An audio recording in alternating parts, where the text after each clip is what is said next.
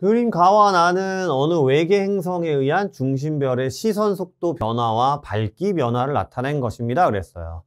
가는 지금 시선 속도 측정법, 그죠?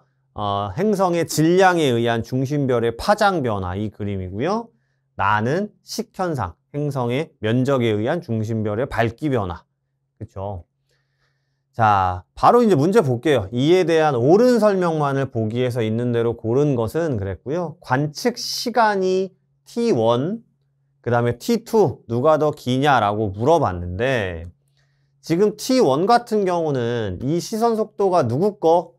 별 겁니다. 그쵸? 그런데 어쨌든 지금 별이 처음에 아, 후퇴하고 있어요. 멀어지고 있죠? 그랬다가 다시 접근하고 그 다음 다시 그 위치에 돌아오는 그러니까 T1은 어떻게 보면 공전 주기가 되겠네요.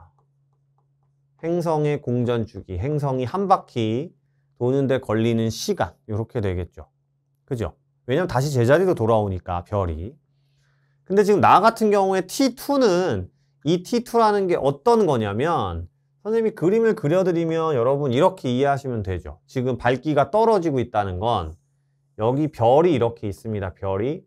그 다음에 행성이라는 친구가 요 위치에서부터 행성이라는 친구가 이렇게 들어가는 거죠. 그쵸? 그래서 요 T1, T2의 처음 시점에서부터 들어갔다가 요 제일 밑에까지 가장 밝기가 떨어지는 지점까지 딱 들어간 다음에 그 다음 여기서부터 여기까지는 지나가는 거죠 이렇게. 그죠? 그 다음에 다시 T2의 끝 시점까지는 이 친구가 나와서 이렇게 딱 나오는 구간까지. T2는 요 시간이에요. 그죠? 그럼 행성의 공전 주기는 아니잖아요. 훨씬 짧죠? 그러니까 시간으로 따지면 T1이 T2보다는 훨씬 긴 게 맞을 겁니다 됐죠? 자, 니은 t 시점일 때 외계 행성은 이라고 얘기했는데 지금 t 시점이 여기에요. 아, 마이너스, 시선 속도가 마이너스라는 건 별이 뭐하는, 접근하는 여기 친절하게 써 있죠?